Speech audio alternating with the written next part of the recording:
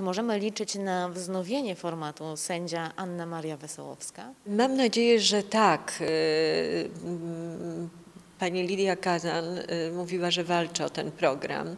To jest bardzo mm, odpowiedzialna postawa. Ja staram się przemówić do rozsądku wszystkim, którzy mają wpływ na kształtowanie y, polskiego społeczeństwa. Ten program wprowadził sędziów do okienka telewizora. Y, Ja sama miałam ogromny z tym problem, bo my byliśmy troszeczkę jak w szklanej wieży, sędziemu nic nie wypadało. W związku z tym y, pół roku się zastanawiałam, czy wziąć w programie udział, ale pomyślałam, że to nie ja jestem ważna.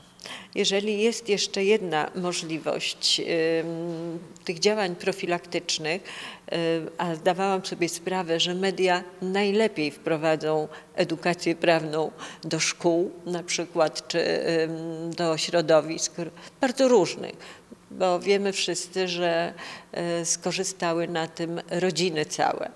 Jak spotykam po drodze e, gdzieś na ulicy, pamiętam, podchodzi do mnie pani, mówi pani sędzio, dziękuję. E, Mój mąż siedział w więzieniu, ale cały czas oglądał ten program.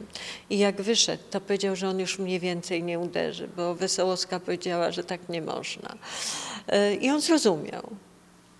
Prawda, jakie to fajne? W związku z tym ym, ja zdawałam sobie sprawę z tego, że program jest ważny. Y, Niektórym y, sędziom, w ogóle środowisku prawniczemu było trudno się do tego przekonać. Ale dzisiaj myślę, że wiele osób zrozumiało, że my nie możemy być w tej szklanej wieży, że